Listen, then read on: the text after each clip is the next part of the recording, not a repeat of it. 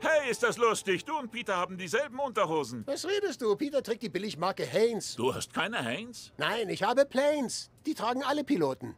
Hier, Planes. Die perfekte Unterwäsche für unerwartete Windböen. Ist das wie Fürze? Ja, das ist wie Fürze. Ja, Peter hat behauptet, er hätte gewaschen. Und jetzt frage ich mich, ob er wirklich 30 Kilo abgenommen hat, wie er sagte. Was sagst du, Lois? Ich bin auf dem Fitnessbike. Und echt total am Schwitzen. Mann, dieser Bergmodus ist brutal. Hey, ich bin nicht schwul. Bist du nicht? Du, du wirkst aber Ja, sehr... ich bin Brite. Wir alle wirken so, aber wir sind es nicht, nur im Geheimen. Danke nochmal, Brian. Und denk dran, benimm dich wie ein normaler, gut erzogener, nicht sprechender Hund. Nicht sprechen? Es reicht, wenn du bellst. Bellen? Gott, das ist ewig her. Ich versuch's. Waff? Waff? Was zur Hölle soll das? Ich arbeite dran. Ich wurde beraubt! Rupert, check die Schmuckschatulle, ob darin was fehlt. Ein Verlobungsring? Oh, haha, sehr witzig, aber der falsche Zeitpunkt für dieses Gespräch. Jim, meine Freundin Yoko Oh Yes. Sie ist bei allen beliebt, die mir nahestehen und stolz darauf, dass sie gute Dinge nicht kaputt macht. Ich lasse euch einfach eure Musik machen. Ihr werdet gar nicht merken, dass ich hier bin. Well, everybody's heard about the bird. Bird, bird.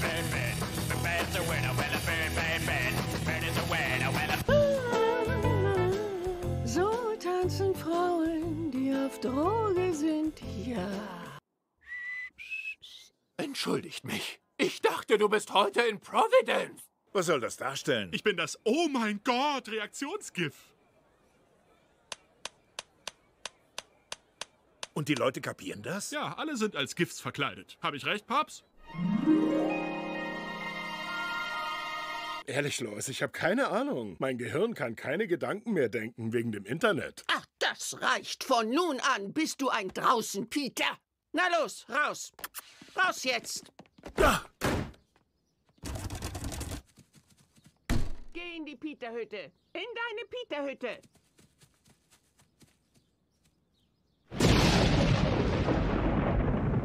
Ah, meine Hand riecht jetzt wie du. Ich bin ja so froh, dass du auch Hundefreund bist. Ich könnte mich nicht mit jemandem anfreunden, der Hunde nicht genauso liebt wie ich. Ist doch toll, dass wir dieselben Dinge mögen, sobald du sagst, was du magst.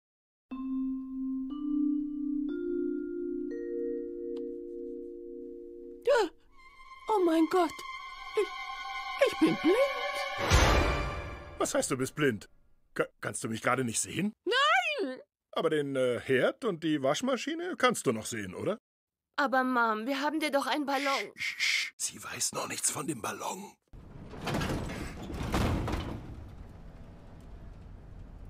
Eigentlich sollte ich nicht in Fahrtrichtung in einem Kindersitz sitzen. Es heißt, bis zu einem Alter von acht brauchen Kinder zumindest eine Sitzerhöhung. Haben Sie Kinder? Mach keinen Smalltalk mit dem Typen. Schon gut. Ist schön, wenn mal zur Abwechslung jemand fragt. Ja, ich habe vier Kinder. Alle tot. Ah, Und wie heißt der kleine Kerl? Äh, äh, das ist äh, Harvey. Benannt nach Weinstein. Äh, we- weil man seine Hoden sieht, wenn er die Tür aufmacht. Auch wenn ich jetzt vielleicht alt wirke, aber in den 90ern war es ein Riesenspaß, den Leuten seine Hoden zu zeigen. Äh, meine Süßigkeiten! Sie sind alle weg! Selbst mein Reiter heißt jetzt Wichsriegel. Meine Schwuchtgummis, meine Kinder Happy Homo, meine rosa Pause. Wer hat mir das angetan? Wer stiehlt deine Babysüßigkeiten?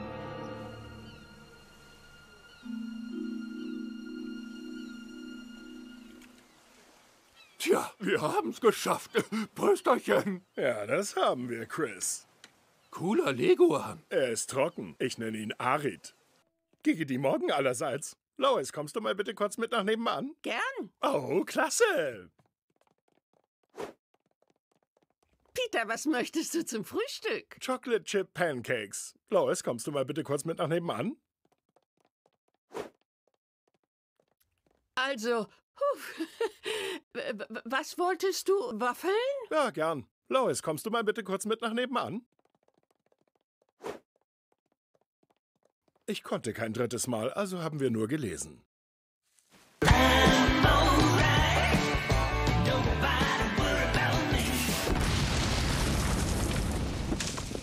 Oh mein Gott, was hast du getan? Er sollte rechtzeitig abhauen. Das sollte ein harmloser 80er-Jahre-Spaß werden. Du hast die Taschenratte getötet. Geht's ihr gut? Nein, es geht ihr nicht gut. Nach Hause telefonieren? Es tut mehr weh als ein Besuch beim Friseur. Ah! Ah! Das ist, was Babys glauben, was beim Haare schneiden passiert. Im Geiste der wunderbaren 80er Jahre werde ich nach oben gehen und ein Loch in die Wand bohren, um Mädchen beim Duschen zuzugucken. Abgesehen davon, dass das ziemlich problematisch ist, kannst du nicht einfach ein Loch in eine tragende Wand bohren. Weißt du überhaupt, wie das geht? Okay, das sind ein Trockenbaubohrer, ein Mauerbohrer, ein Spiralbohrer, ein Fliesenbohrer, eine Bohrmaschine mit Schlagfunktion, ein Kabelfinder, ein Balkenfinder und ein Fettstift. Da will wohl jemand ein Loch in die Wand bohren, um Mädchen beim Duschen zuzugucken. Aber sowas von. Haben Sie eine Genehmigung? Geh gleich zum Rathaus. Klasse. Das sind drei verschwitzte Jogging-BHs von Lois. Oh, war ich wirklich so ein braver Junge? Kommt drauf an. Ich habe ein Katzenproblem. Erledige meine Katze und die gehören dir. Deal. Nur zu, Junge. Oh ja. Sie ist schnell gelaufen, weil Bonnie zugeguckt hat. Und ich vermach dir meine Penisvergrößerungsmaschine. Sie steht in meinem Schrank. Ah, hast du geguckt? Schreib, schreibst du mir eine Nachricht, wenn du geguckt hast? Peter, was soll das werden? Du hast mir doch gesagt, ich soll die 80er aufgeben und ein neues Jahrzehnt finden, auf das ich stehe. Nein, so habe ich das Jetzt nicht. feiere ich die goldenen 20er. Nicht, weil Kokain legal ist, aber hauptsächlich, weil Kokain legal ist. Nun ist es Zeit, ein äußerst dämliches Fluggerät zu entwerfen. Kokainmaschinen. Sollte ich das schaffen, gehe ich in die Geschichte ein. Wie mein Vorfahre, der neben Nathan Hale erhängt wurde. Ich bedauere, dass ich nur ein einziges Leben habe, das ich für mein Land geben kann. Wenn ihr mich umbringt, werde ich alles vollkotzen. Alles da vorne. Alles da vorne. Du, Historiker, schreib unser beider Worte auf. Ist er nur die hintere Hälfte? Oh, Hinti? Ja, sie ist eine Kämpferin. Vielleicht sollte sie aufhören zu kämpfen. Keine Sorge, Lois, wir werden die ganze Zeit an deiner Seite bleiben und nicht draußen mit einem Ballon spielen.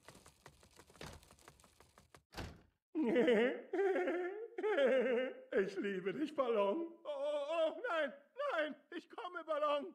Ich bin auch nicht gerade das, ich weiß nicht, clevere Gürkchen, für das mich jeder hält. Das clevere Gürkchen? Ich meine, äußerlich betrachtet schon, aber ich würde mir wünschen, dieses Gürkchen würde tief in mir stecken. Ich ähm, kann dir nicht ganz folgen, Stewie. Doch das Gute ist, Brians letztes Buch hatte sehr viele wertvolle Seiten. Ja, die taugten sehr gut als Toilettenpapier, weil Brian jetzt alt ist und Frauen nicht mehr durch Geschlechtsverkehr befriedigen kann. Ich kann's aber noch. Hat das damit zu tun, dass du an deinem Hochzeitstag keinen hochgekriegt hast? Das habe ich dir im Vertrauen erzählt. Und ich weiß, du magst Kindernudeln mit Tomatensauce. Natürlich mag ich Kindernudeln. Ich bin ein Erwachsener mit einer Entwicklungsstörung.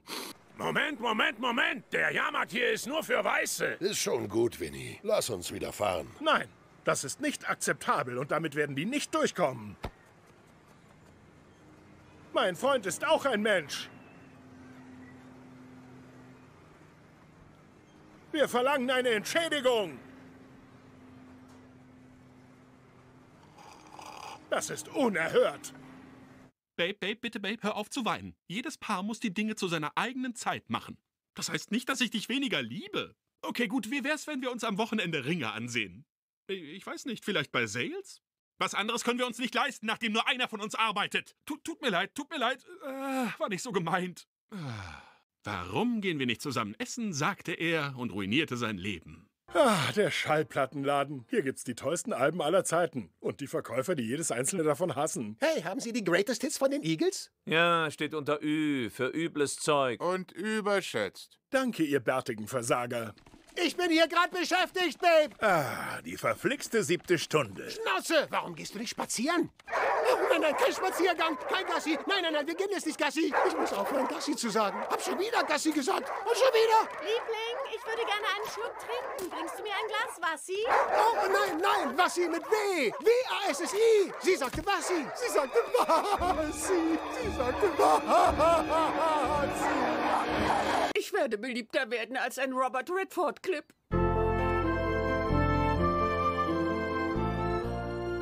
Hey, wer weiß, vielleicht drehen die eines Tages einen Film über uns. Diesen Sommer der Klettergerüstgipfel mit Chris Pine als Doug. Was? Und Paul Giamatti als Stewie. Komm schon!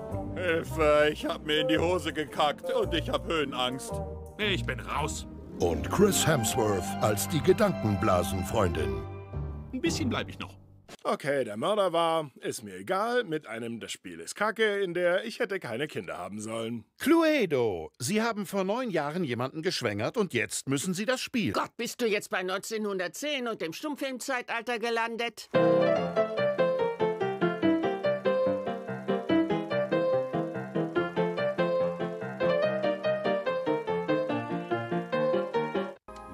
Captain Quagmire. Hey, wenn dieses Flugzeug ein großer Pimmel wäre, dann wären wir die Augen des Pimmels. Hallo, hier spricht der Captain aus dem äh, Cockpit. Sind aber eine Menge Peniswitze heute. Ruhe, Sie sprechen nicht. Und jetzt genießen Sie die Bordmusik, die ich aus meinem Handschuhfach mitgebracht habe. Oh. Noch Fragen? Ja, Mr. Officer, hi, ja. Parken Sie auf dem Behindertenparkplatz? Ninjas haben keine Autos. Der wird abgeschleppt. Oh nein, mein Chevy Cruise. Danke, danke, danke, danke, danke. Ist das Lois? Ich bin diejenige, die blind ist. Entschuldige, ich muss mich noch daran gewöhnen. Mein Gott, ich, ich hänge hier oben fest. Ich muss meine Signalboa einsetzen. Wir haben eine Bohr. Ich hänge immer noch fest, aber fühle mich bestätigt. Wollen Sie saufen und der Lehrerin Ihres Kindes zugucken, wie sie ihre eine Hose wäscht? Dann nichts wie hin. Oh, cool. Da müssen wir hin. Nichts ist schöner, als eine warme Windel direkt aus dem Trockner anzuziehen. Oh mein Gott, ich glaub's nicht. Die haben die Unterwäsche vom anderen getragen. Kannst du dir das vorstellen? Ich weiß, krass, das ist total eklig, hoch 10.000. Hey, ist vielleicht voll blöd. Aber sollen wir auch mal Unterwäsche tauschen, nur so aus Spaß? Was? Nein, das ist eine beschissene Idee. War nur ein Witz. Du bist so dämlich! Kann ich jetzt aufhören? Und wie viele Popel verzehrst du etwa pro Woche? Oh Gott, vielleicht äh, einen, vielleicht zwei in den Ferien, vielleicht? Stewie, ich bin dein Arzt. Ich muss dich nur ansehen, um zu wissen, dass du mehr Popel konsumierst. Ich glaube, du hattest auf dem Weg hierher erst einen. Was? Hast du Lust auf Sex mit meinem übergroßen Bärenpelz? Hm, der passt bestimmt perfekt zu meinem Riesennest aus kleinen Kräusellocken. Er hat mir immer sehr viel bedeutet. Und jetzt möchte ich, dass er dir sehr viel bedeutet. Wovon redet sie überhaupt? Spielzeug! Spielzeug? Oh, oh, Spielzeug! Warum hast du das nicht gleich gesagt? Yay, Spielzeug! Yay, Spielzeug! Hallo allerseits! Das ist eine seltsame Muschel, die so ähnlich wie weibliche Genitalien aussieht, die mein Dad mag. So viel Spaß hatte ich das letzte Mal auf dem Friedhof. Wie gefallen dir diese Geräusche, hä? Mach das mal sauber, während du in der Hölle schmorst. Peter, können wir gehen? Ja, gleich.